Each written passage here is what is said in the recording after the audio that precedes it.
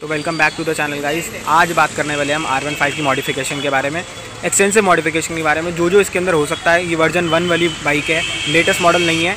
तो उसके हिसाब से जो जो इसके अंदर हो सकता है, वो आज हम इसके अंदर करने वाले हैं। पहला स्टेप है इसके अंदर जो इसका टैंक है बेसिकली वो एलिमिनेशन होने वाला है। पीपीएफ इसके अंदर होने वाली है। काम हो रहा है साइंस मोटर शॉप पर अगर आप देखें तो प्रॉपर एड्रेस आपको इसका डिस्क्रिप्शन में मिल जाएगा। प्रॉपर एड्रेस आपको इसके अंदर डिस्क्रिप्शन में मिल जाएगा, जो शैम्पू लगा के प्रॉपर डीप क्लीनिंग करी जाती है कि जो भी कोई डस्ट पार्टिकल है इसके अंदर से, वो हट जाए कम्प्लीटली और एक इवन थ्रो लुक आए, कोई भी डस्ट पार्टिकल जो है, वो लेमिनेशन के अंदर जाके ना फ़र्स्ट टक हो तो ये चीज़ यहाँ पे प्रॉपर ध्यान रखा जाता है और फिनिशिंग एक नंबर आपको यहाँ पे मिलेगी, कोई भी फिनिशिंग में दिक्कत नहीं होने वाली आपको। तो काम स्टार्ट हो चुका है।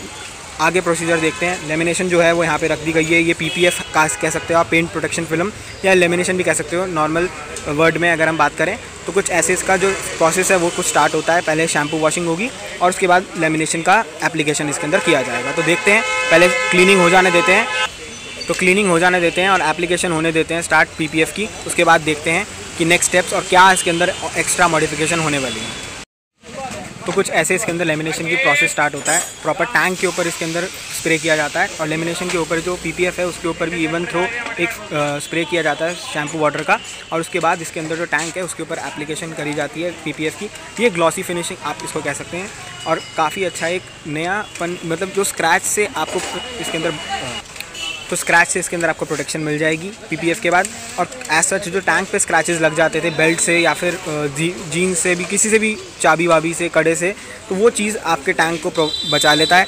और टैंक पे स्क्रैचेस लगने से जो मेजरली स्क्रैचेस लगते हैं टैंक पे ही बाइक के अंदर वो बच जाते हैं और आपको एक अच्छी नीट एंड क्लीन फिनिश मिल जाती है। आपको ऐसा कुछ लगता भी नहीं है।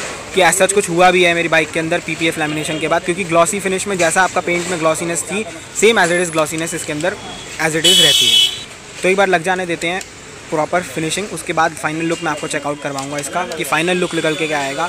लास्ट में पता तक नहीं चलेगा कि कुछ ऐसा लगा भी था तो हीट गन और प्रॉपर स्लाइडर का यूज़ इसके अंदर होता है एक्स्ट्रा वाटर को निकालने के लिए और एक इवन थ्रो फिनिशिंग देने के लिए टैंक के ऊपर, जिससे कभी भी पता नहीं चलेगा किसी को भी कि इसके अंदर कभी कोई पीपीएफ या लेमिनेशन करी गई है पेंट को प्रोटेक्ट करने के लिए।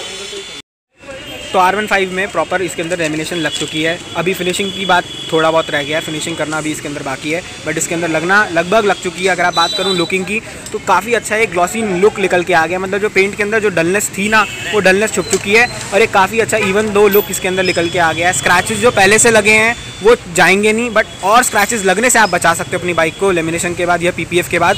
तो वो चीज़ आपके ऊपर परसेक्टिव है कि आप करवाना चाहते हैं, नहीं करवाना चाहते बट अगर आप नई बाइक ली है, क्योंकि एक एक्सपेंसिव बाइक लेने के बाद लेमिनेशन एक बहुत ही इंपॉर्टेंट एक्सपेक्ट हो जाता है करवाना स्क्रैचेस से अपनी बाइक को प्रोटेक्ट करने के लिए। तो इसके अंदर अभी जो नई चीज़ लगने वाली है, जो इंडिकेटर्स के अंदर कंपनी की तरफ़ से आते हैं, वो बहुत ही बेकार क्वालिटी के आते हैं। उसके जो इंडिकेटर्स हैं, वो भी चेंज होने वाले हैं। लग जाने देते हैं और उसका फाइनल लुक चेकआउट करते हैं कि क्या लुक निकल के आता है। पीपीएफ की जो लेमिनेशन है, उसकी जो इवन थ्रो लुक है, वो प्रॉपर आ चुकी है। बस फाइनल कटिंग बची है।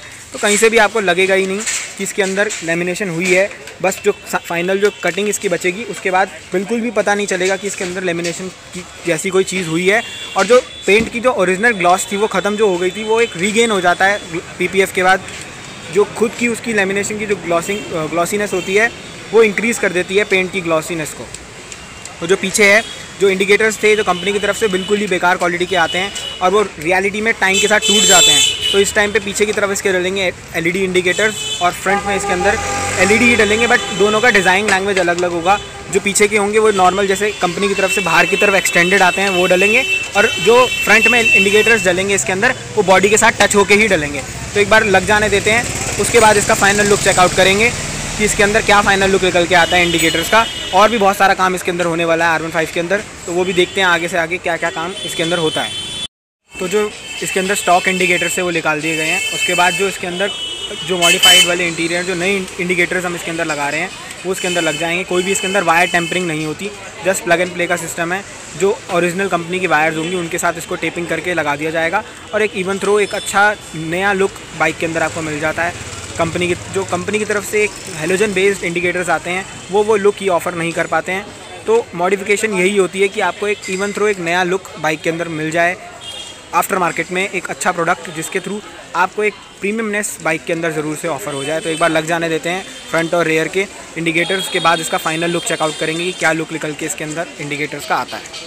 तो जो मिरर इसके अंदर लगे हुए हैं स्टॉक वो प्रॉपर स्टॉक ब्लैक मिरर लगे हुए हैं। कोई भी इसके अंदर इंडिकेटर नहीं है बट इसके अंदर जो फ़िलहाल इंडिकेटर वाले मिरर लगने वाले हैं, वो कुछ ऐसा इसके अंदर लुकिंग देंगे।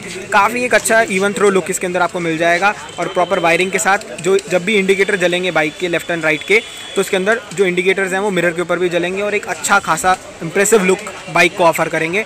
और इसके अंदर देखते हैं कि और क्या क्या इसके अंदर होता है। जो इंडिकेटर की प्लेसमेंट है, वो भी होने वाली है प्रॉपर इसकी जो वायरिंग्स है उनको निकाल दिया गया है, कुछ ऐसा स्टॉक इंटीरियर इंडिकेटर इसका आता है, उसको चेंज करके इसके अंदर जो नया वाला इंडिकेटर मैंने आपको दिखाया था बॉडी के साथ लगने वाला, वो इसके अंदर लगेगा।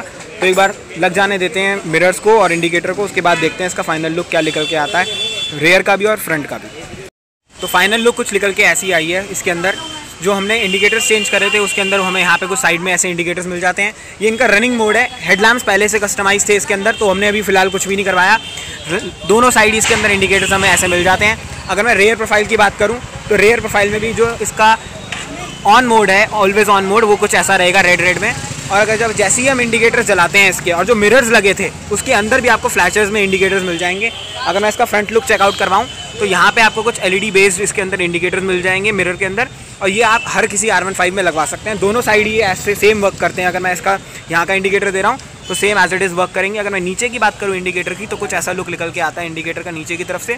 अगर मैं एक बार पूरा डिम करके आपको दिखाऊँ तो कुछ ऐसा लुक निकल के इसका इंडिकेटर का आएगा। काफ़ी क्लासिक लुक निकल के आता है बाइक का इंडिकेटर चलने के बाद। और रेयर में अगर मैं आपको दिखाऊँ कि अगर रेयर का लुक अगर मैं चेकआउट करवाता हूँ आपको तो कुछ ऐसा लेयर रेयर का लुक निकल के आता है बाइक के अंदर। काफ़ी क्लासिक लुक निकल के आया है आफ्टर मार्केट इंडिकेटर्स के बाद। एक रॉयल लुक एक प्रीमियम लुक कार बाइक के अंदर आपको ज़रूर से मिल जाता है इंडिकेटर लगने के बाद। फ्रंट में जब भी इंडिकेटर जलेंगे तो आपको शीशे में भी प्रॉपर बिलिंग होगा। दोनों साइड ये होगा तो काफ़ी एक प्रीमियम लुक आपको मिल जाएगा बाइक के अंदर, जब अगर आप ये सारा काम करवाएँगे। और टैंक की लेमिनेशन की अगर मैं बात करूँ तो वो लेमिनेशन प्रॉपर हो चुकी है। इसके अंदर क्लियर लेमिनेशन है, कोई भी रिंकल नहीं है, कुछ भी यहाँ पे डस्ट पार्टिकल नहीं है, थोड़ी बहुत गंदी हो रखी है बाइक बट वैसे कोई रिंकल या फिर कुछ भी आपको इसके अंदर डस्ट पार्टिकल्स नहीं दिखेंगे बाइक के अंदर टैंक के ऊपर। अब बात करते कॉस्टिंग की तो सब कुछ मैं आपको बता देता हूँ, जो भी इसके अंदर तीन चार चीज़ें हुई हैं, उसकी क्या कॉस्टिंग लगी है।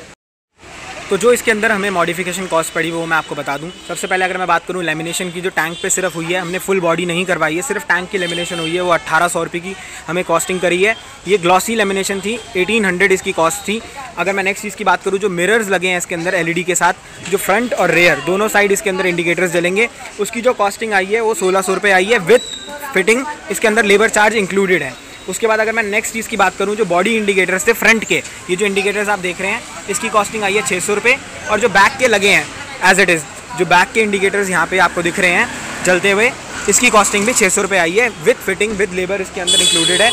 अगर मैं बात करूँ इसके अंदर, जो नेक्स्ट चीज़ इसके अंदर हुई थी, वो इसके अंदर हुई है, ये जो ब्लू कलर के आप बल्ब बल्ब देख रहे हैं इसके अंदर कलर्ड वाले ये डले हैं सौ रुपये के। तो टोटल कॉस्टिंग हमें मिली है इसके अंदर चार हज़ार सात सौ रुपये हमारे जो स्पेंड हुए हैं और आर वन फाइव हमारी जो है वो बहुत ही शानदार तरीके से मॉडिफाइड हुई है। काफ़ी एक अच्छा स्टांस आ रहा है। एक 2014 वाली मॉडल की जो आर वन फाइव है, उसके अंदर एक नया ऐसा लुक आ गया है। ये कुछ छोटी मोटी मॉडिफिकेशन करवाने के बाद और एक अच्छा अच्छी जगह से काम हुआ। तो उसके बाद सेटिस्फैक्शन बहुत ही अच्छी मिल जाती है आपको। तो ये कुछ था इसकी वीडियो कि इसके अंदर क्या काम हुआ और कैसे हुआ। तो वीडियो पसंद आए तो वीडियो को लाइक करें शेयर करें चैनल को सब्सक्राइब ज़रूर से करें। ऐसी और इन्फॉर्मेटिव कंटेंट्स आते रहेंगे चैनल पर तो वीडियो को देखने के लिए थैंक यू सो मच